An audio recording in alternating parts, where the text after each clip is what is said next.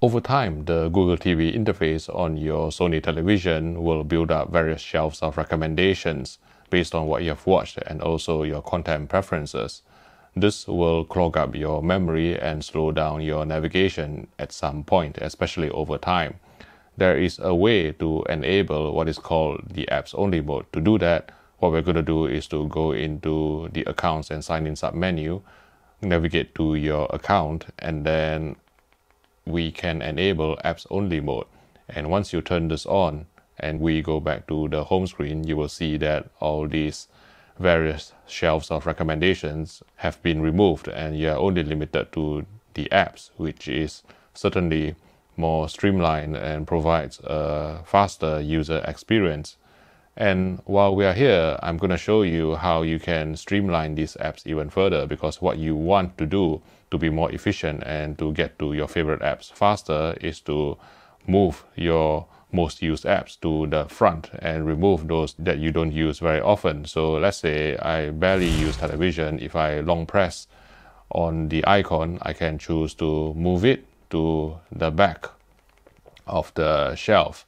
And then let's say if I watch Disney Plus very often, then I'll just move it to the front. And this way, you will be able to get to your favorite apps in a faster manner, increasing your navigation speed and efficiency.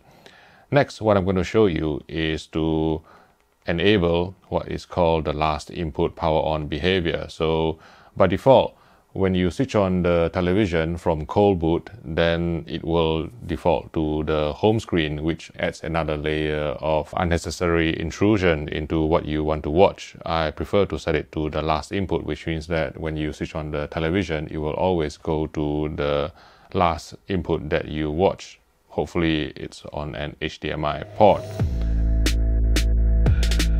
You can also customize the quick settings menu to reduce the number of options so that you can get to the settings that you really need faster. So for example, let's say if you don't really need various sound modes because you are connected to an external speaker, then you can disable these and disable the sound settings. And once you do all this, you can close the menu and then you know you can get a leaner and cleaner quick settings menu that allows you to get to the settings that you really need without faffing about.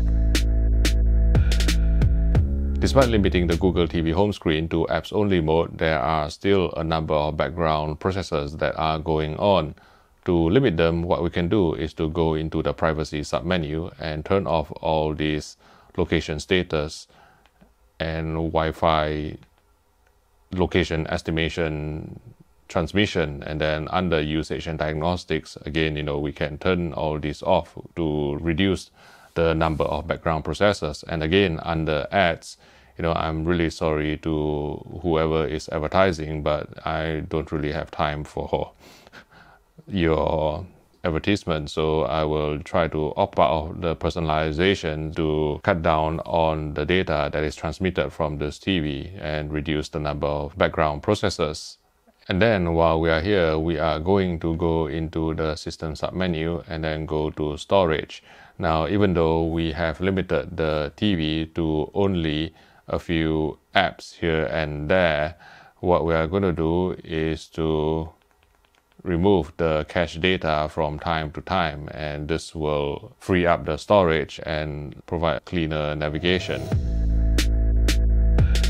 If you navigate into your apps, you can see that there is no Google Play Store for you to search for any apps. To create a shortcut, what you can do is to press the input button and then you can actually click on edit and add the Google Play Store and also the Google Play movies and TV. For some reason, they are only limited here. So once you select that, and the next time you want to access the Google Play Store, what you can do is to just press the input button on your remote control and click on Google Play Store, which will bring you straight there.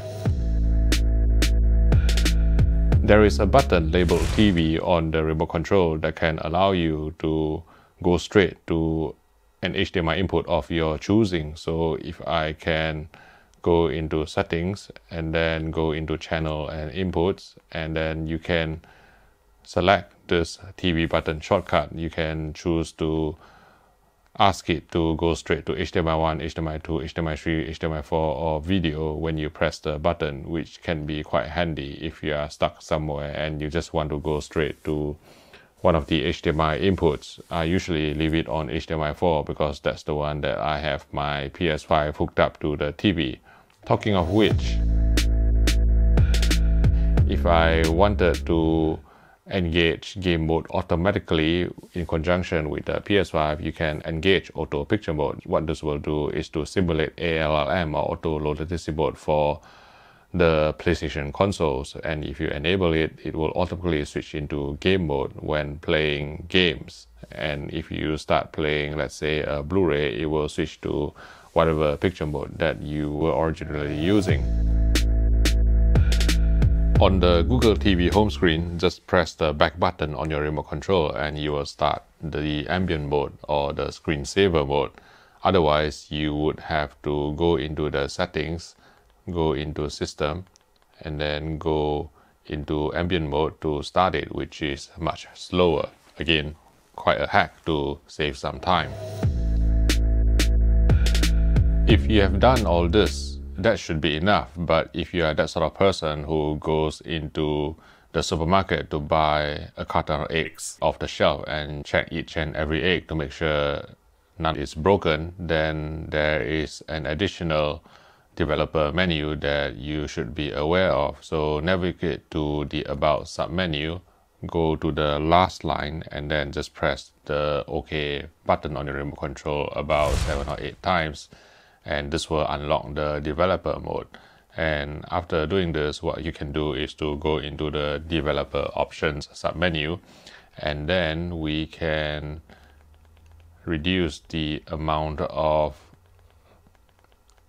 background processes in terms of the number of processes running at one time. So maybe two to four would be a good one to make sure that your apps run as smoothly as possible. Once you have sped up the Sony Google TV interface, perhaps you would also like to learn how to boost your wired internet connection speed on your TV, which I will demonstrate and explain in this video.